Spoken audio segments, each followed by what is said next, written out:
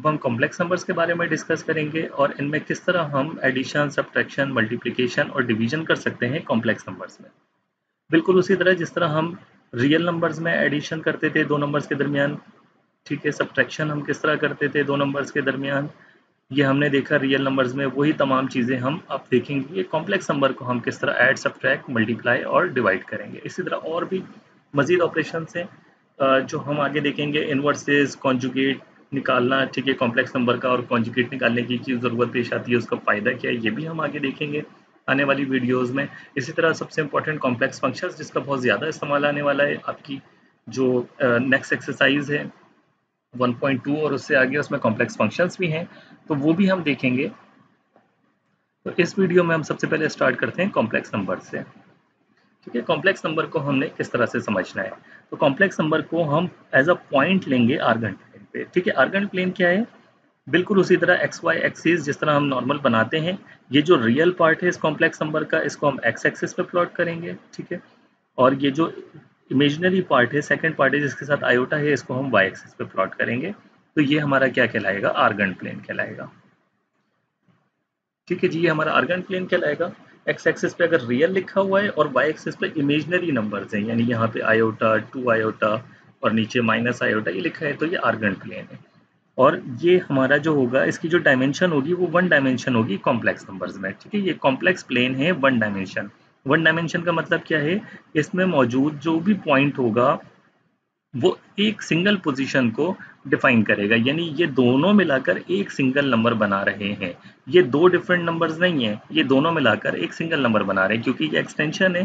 Further real number system की तो real number system में क्या होता है, ये जो इमेजनरी पार्ट है ये ज़ीरो होता है, क्योंकि ये जो वाई है, ये ज़ीरो होता है। जब वाई ज़ीरो होगा तो ज़ीरो आयोटा से मल्टीप्लाई होगा तो ज़ीरो हो जाएगा, सिर्फ़ रियल पार्ट रह जाता है।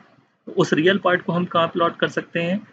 ठीक है, हम सिंगल नंबर लाइन पे प्लॉट कर सकते हैं। उस रियल पार्ट को अगर ये सिर्फ़ एक्स रह जाएगा तो ये ज़ीरो ठीक है तो रियल नंबर सिस्टम में क्या होगा, ये एक सिंगल लाइन ये आर वन होगी, ठीक है। लेकिन अगर इमेजनरी पार्ट भी है तो इमेजनरी पार्ट भी है तो कॉम्प्लेक्स पूरा प्लेन बनाना पड़ेगा। एक्स वाई एक्सेस मिलाकर एक सिंगल नंबर बनाएगा, एक सिंगल पोजीशन बनाएगा। पॉइंट तो ये सी वन प्लेन है। ठीक है रियल नंबर में क्या होता है, सिर्फ़ एक लाइन से ही पोजीशन डिफाइन हो जाएगी। बिल्कुल इसी तरह अगर इमेजनरी पार्ट ज़ीरो होगा तो हम उसको यहाँ भी बना सकते हैं। सिर्फ़ जो भी पॉइंट प्लॉट होगा, वो यहाँ पे सिर्फ़ इस लाइन पे आएगा एक्स एक्सेस वाली लाइन पे। लेकिन जो हम नॉर्मली देखते हैं, जो हमारे पास एक्स वाई प्लेन होता है, असल में ये आर टू प्लेन होता है।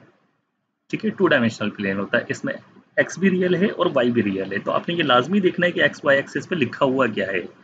ठीक है, अगर एक्स वाई एक्सिस पे लिखा हुआ है एक्स पे रियल और वाई पे इमेजनरी लिखा है तो आर्गन प्लेन है ठीक है, ये दोनों मिलाकर कॉम्प्लेक्स नंबर को डिफाइन करेंगे और ये वन डायमेंशन होगी।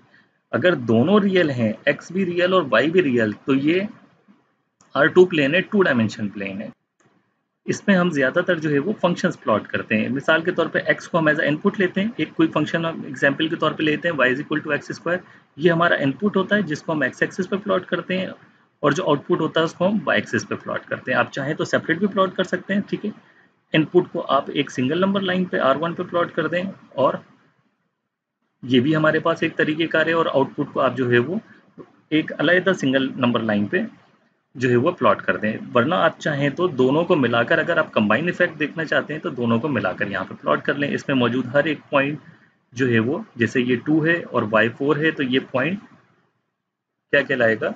आर टू ये दोनों मिलाकर टू डायमेंशन जो है वो बनाएँगी। एक इनपुट है और एक आउटपुट है। इसी तरह से यहाँ पे क्या है? यहाँ पे हर एक पॉइंट टू डायमेंशन नहीं बनाएगा, बल्कि यहाँ पे हर एक पॉइंट क्या बनाएगा? एक सिंगल नंबर होगा। या एक पोजीशन को डिफाइन करेगा सिंगल नंबर पोजीशन को डिफाइन करेगा। अच्छा जी, इसमें क्या था? जब ये फ़ंक्शन था, हम छोटा सा ओवरव्यू फ़ंक्शन का भी देख लेते हैं कॉम्प्लेक्स फ़ंक्शन का भी। जब ये फ़ंक्शन था रियल में तो हमने उसको एक्स वाई एक्सिस पे प्लॉट किया, या दोनों के लिए सेपरेट नंबर लाइन बना सकते हैं हम सिंगल नंबर लाइन ठीक है? तो ये हमारे पास क्या था? इनपुट था, जिसको हम इंडिपेंडेंट वेरिएबल भी कहते हैं, और ये आउटपुट था। जो हमारा डिपेंडेंट वेरिएबल है। इसी तरह से ये इनपुट इंडिपेंडेंट वेरिएबल और ये आउटपुट डिपेंडेंट वेरिएबल ठीक है? डिफरेंट वेज हैं एक ही फ़ंक्शन के को देखने के। अच्छा नंबर्स की अगर हम बात करें, वापस कॉम्प्लेक्स नंबर पे आते हैं। अगर कॉम्प्लेक्स नंबर की बात करें तो आपने याद रखना है, यहाँ पर हम एक्स और वाई की जगह तमाम नंबर्स नहीं रख सकते। ये फ़ंक्शन है। फ़ंक्शन में आप एक्स की जगह जो भी नंबर आप रख सकते हैं, आपको अलाउड है, वो डोमेन कहलाता है। ठीक है, अगर ये भी फ़ंक्शन के तौर पे अगर मैं इसको लूँगा तो हम x और y की जगह तमाम नंबर्स जो भी हम रख सकते हैं अलाउड हैं तो वो डोमेन होगा। वो तमाम के तमाम हम कहाँ प्लॉट करेंगे? इस पूरे प्लेन पे प्लॉट करेंगे, ठीक है? यानी x की वैल्यू भी आएगी और y की वैल्यू भी आएगी। दोनों मिलाकर इनपुट बनाएँगे। यहाँ कॉम्प्लेक्स नंबर में क्या होगा? दोनों मिलाकर इनपुट बनाएँगे एक्स और वाई यहाँ पे क्या था? रियल नंबर्स में इनपुट सिर्फ़ एक सिंगल नंबर लाइन थी, क्योंकि सिर्फ़ एक ही जो है वो रियल नंबर है रियल वेरिएबल है, जिसकी जगह हम नंबर्स रख सकते हैं। यहाँ पे हमारे पास दो चॉइसेस हैं रियल पार्ट भी है और इमेजनरी पार्ट भी है। दोनों की जगह हम नंबर रखेंगे तो हमारे पास इनपुट बनेगा, ठीक है? तो दो डायमेंशंस मिलाकर एक सिंगल नंबर बनाएँगी, जो पूरा का पूरा इस कॉम्प्लेक्स प्लेन पे आ जाएगा। ऑब्वियसली मैं कोई भी नंबर रखूँगा तो फ़ंक्शन के हिसाब से मिसाल के तौर पे अगर ये फ़ंक्शन होता z is equal to X square plus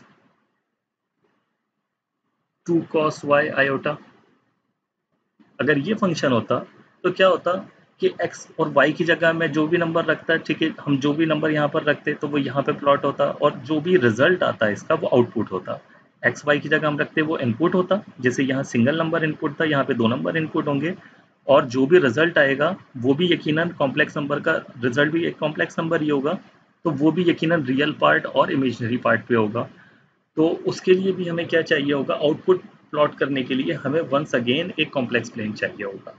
क्योंकि हम थ्री डायमेंशनल वर्ल्ड में रहते हैं तो दो इनपुट की डायमेंशन आ गए रियल और इमेजनरी मुझे मजीद रियल और इमेजनरी डायमेंशन चाहिए किसके लिए? कॉम्प्लेक्स के लिए। तो उसको हम इस तरह प्लॉट नहीं कर सकते। हमारे पास डिफरेंट आइडियाज़ हैं, उसको प्लॉट करने के सब, एक तो ये आइडिया है कि जो इनपुट है, हम उसको एक्स और वाई ले लें, और जो आउटपुट है, उसके लिए भी हम एक अलहदा से जो है एक प्लेन बना लें।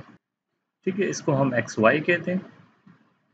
ये इनपुट के लिए हमने रख दिया और जो रिज़ल्ट आएगा उसको हम आउटपुट के लिए यू और वी कहेंगे।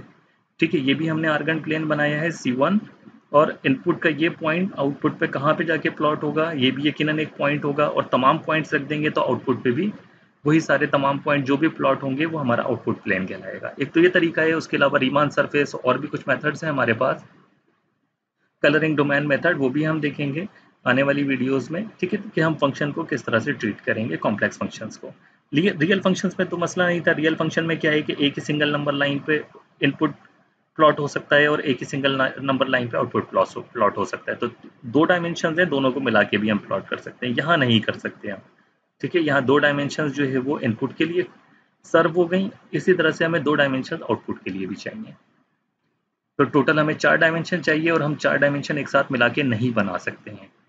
क्योंकि हम थ्री डायमेंशनल वर्ल्ड में रहते हैं तो इसलिए हम, हमने डिफरेंट जो है वो तरीक़ेकार इसके लिए यूज़ करेंगे जब कॉम्प्लेक्स फ़ंक्शन की बात आएगी। अच्छा ये तो कॉम्प्लेक्स फ़ंक्शन की बात है। वापस हम कॉम्प्लेक्स नंबर्स पे आते हैं। कॉम्प्लेक्स नंबर में क्या है? हम तमाम के तमाम नंबर रखने के लिए अलाउड नहीं है। जब नंबर की बात होती है तो हम एक सिंगल नंबर रखेंगे।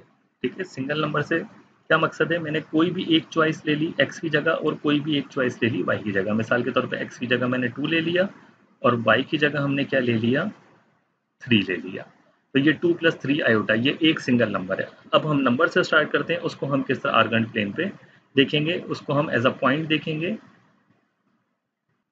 और फिर उसके बाद फर्दर हम देखेंगे कि एडिशन सब्ट्रैक्शन मल्टीप्लिकेशन और डिवीज़न हम किस तरह जो है वो कर सकते हैं इस आर्गन प्लेन पे। ये हमारा कॉम्प्लेक्स प्लेन है, ये रियल पार्ट है और ये इमेजनरी पार्ट है।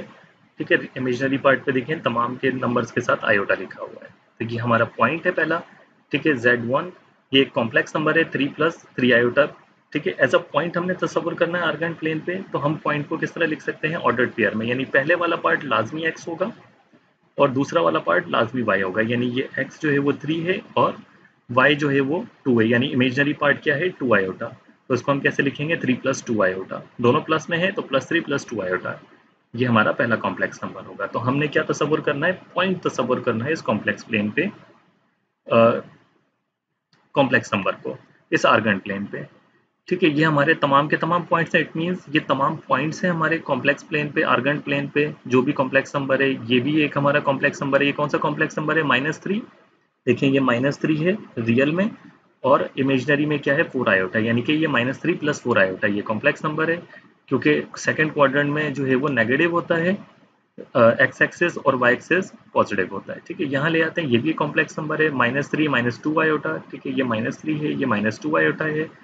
इसी तरह से यहाँ पे plus four minus three iota ठीक है, ये प्लस फोर और ये माइनस थ्री आयोटा ये कॉम्प्लेक्स नंबर है। इट मीन ये पूरा का पूरा आर्गन प्लेन क्या है? कॉम्प्लेक्स नंबर पे मौजूद है। इसमें जहाँ भी हम अपने पॉइंट को ले जाएँगे, वो हमारा क्या होगा? एक कॉम्प्लेक्स नंबर होगा। ठीक है? ये हमारा एक कॉम्प्लेक्स नंबर है। इसी तरह से ये हमारा दूसरा कॉम्प्लेक्स नंबर है। दो कॉम्प्लेक्स नंबर हो गए। ये कॉम्प्लेक्स नंबर क्या है? थ्री प्लस फाइव आयोटा ठीक है? तो ये हमारा क्या है? ये दोनों हमारे दोनों कॉम्प्लेक्स नंबर हैं। इसी तरह हम कितने भी कॉम्प्लेक्स नंबर बना लें। ठीक है? दो, तीन, चार। अब हम देखना चाहते हैं हमारा अगला स्टेप क्या है कि इनको हम किस तरह ऐड और सब्ट्रैक्ट कर सकते हैं इन कॉम्प्लेक्स नंबर्स को?